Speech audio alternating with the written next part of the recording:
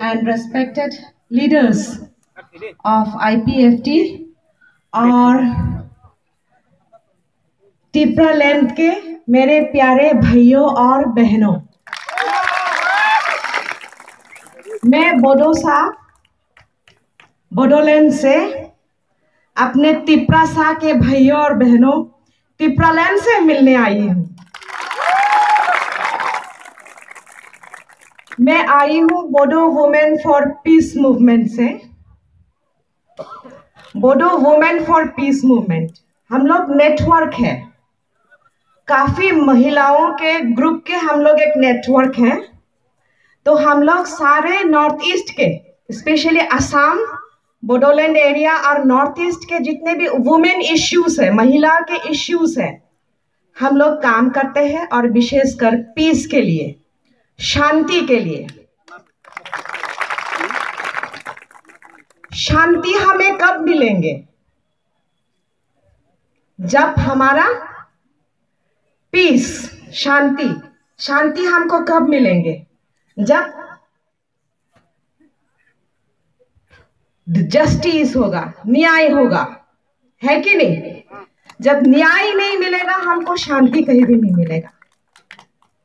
तो इसीलिए और न्याय हमें जब मिलेगा, जब हमें सारे दुनिया के लोग, भारत के, नॉर्थ ईस्ट के, त्रिपुरा के जितने भी लोग हैं, जब हमें मान देंगे, जब हमें सम्मान देंगे जब हम अपने मान को लेकर, अपने स्वाभिमान को लेकर हम जी पाएँगे, सांस ले पाएँगे डिग्निटी के साथ, तब हमें शांति मिलेगा।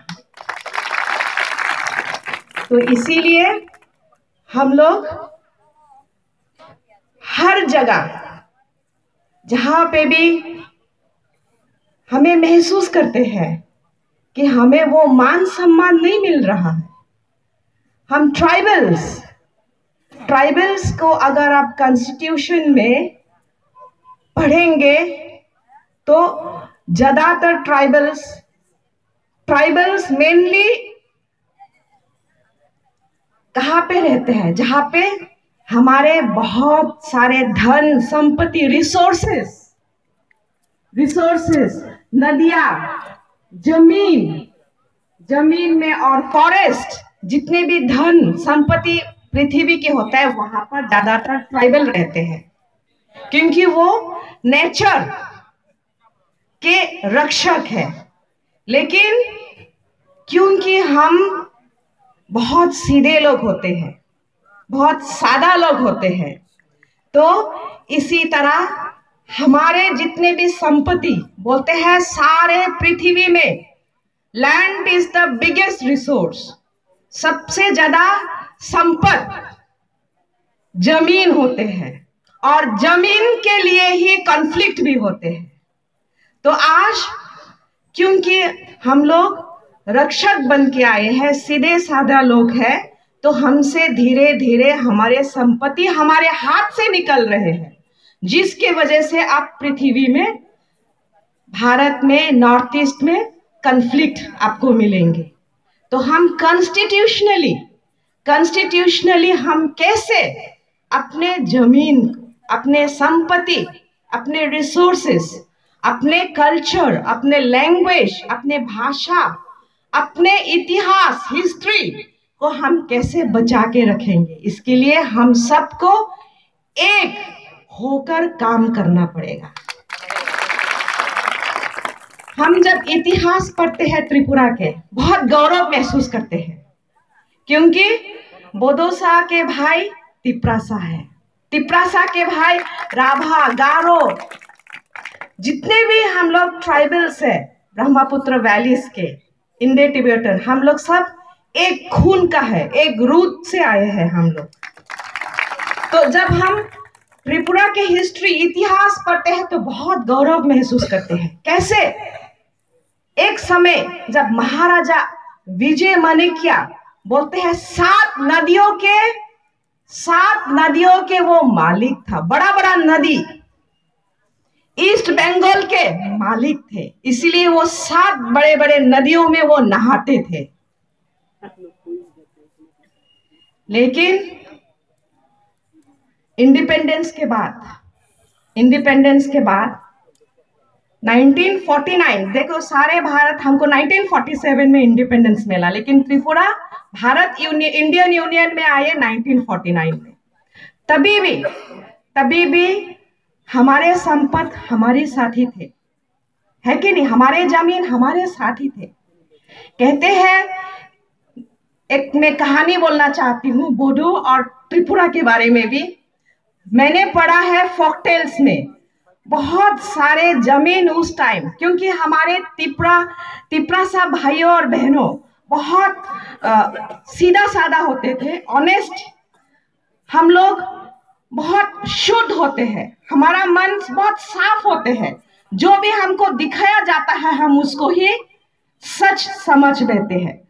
बोलते हैं कि उस टाइम में बहुत सारे हमारे तिपरासा के तिपरासा लैंड कैसे हमारे हाथ से निकल गए? हमने सुना है, बहुत जो नॉन ट्राइबल्स है,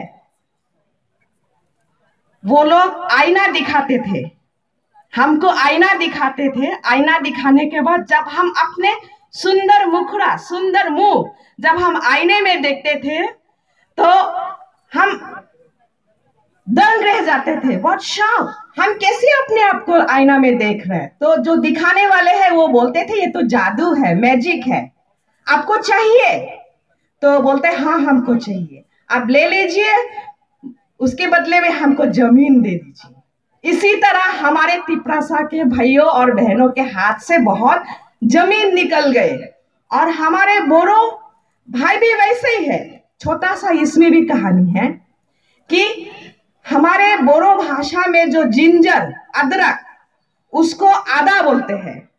और बोरो में आदा के मतलब है बड़ा भाई। वो बाज़ार में जब आदा बेचने गया था अदरक बेचने गया था एक नॉन ट्राइबल ने कहा कि आ, हमको आधा चाहिए था। आधा कितना है? और ये बोरो आदमी वो समझ भैया हमको भैया बोला है। भैया सो सबसे बड़ा रिश्ता है।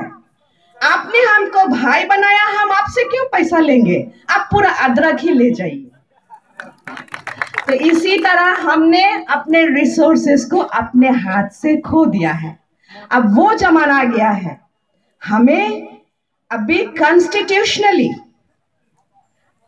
कॉन्स्टिट्यूशन हमारे भारत के संविधान में कॉन्स्टिट्यूशन में हर कम्युनिटी हर कास्ट हर ट्राइबल हर कम्युनिटी चाहे वो माइनॉरिटी ही हो, पाँच हज़ार संख्या के एक कम्युनिटी हो, उसको भी बचाने के लिए हमारा संविधान में सुविधा है। इसीलिए द ग्रेट इंडियन डेमोक्रेसी बोलते हैं। तो हमको कॉन्स्टिट्यूशनली वो राइट्स हमको ढूंढना होगा, हमको जानना होगा, हमको अपने आप को हमको सीखना होगा। इसीलिए हमारे जो रंगीना बोरगयारी ने कहा था कि हमको एजुकेशन, शिक्षा हमको प्राप्त करना होगा। अब त्रिपुरा के बारे में हम बताएँगे तो सारा भारत बहुत गौरव करते हैं कि त्रिपुरा में 96 परसेंट एजुकेटेड लिटरेट है, जो नेशनल एवरेज से बहुत ऊँचा है। लेकिन इसमें हम ट्राइबल्स तिप्रासा, हम तिप्रासा कितने एजुकेटेड हैं? वो हमें सोचना होगा। हाल ही में मेरे एक दोस्त ने मुझे कोकराझार से फ़ोन किया था। दीदी आप कहाँ पे है? तो मैंने कहा मैं टिपरा लैंड में हूँ। कहाँ पे? खुमुलुंग। खुमुलुंग में हूँ वो क्या है? बोला वो Tripura tribal areas autonomous district council है। तो वो, वो कैसा है? कितना डेवलपमेंट है?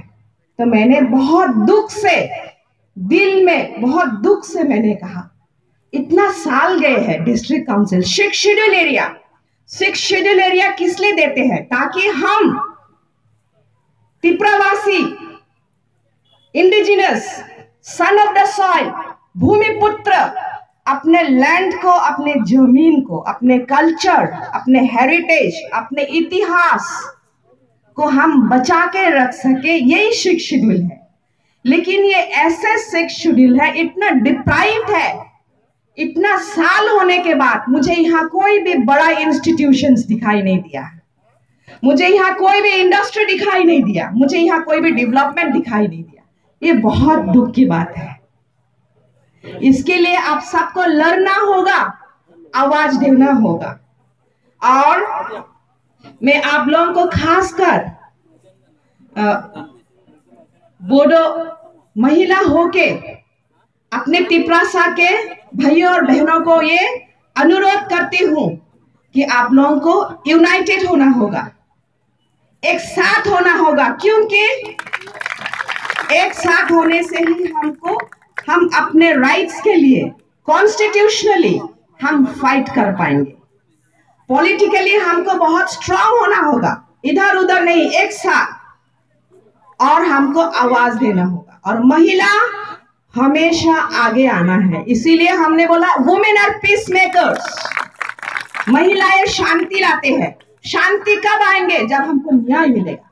न्याय हमको कब मिलेगा? जब हमें अपना स्वाभिमान मिलेगा। अपना स्वाभिमान हमको लौटाना है। स्वाभिमान कब हमारे पास आएँगे? हमको अपना इतिहास फिर से लिखना होगा।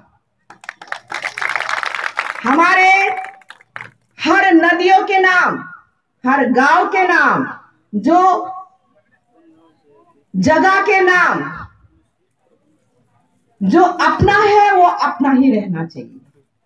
अगर हम अपना नाम खो दिया, वो उसका इतिहास भी खो दिया। है कि नहीं?